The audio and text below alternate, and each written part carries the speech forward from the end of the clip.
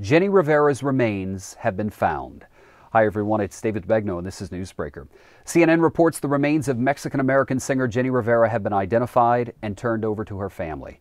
Meanwhile, the AP reports two Mexican state police officers have been arrested after crash photos were found on their cell phones and stolen items from the crash site were found in their homes.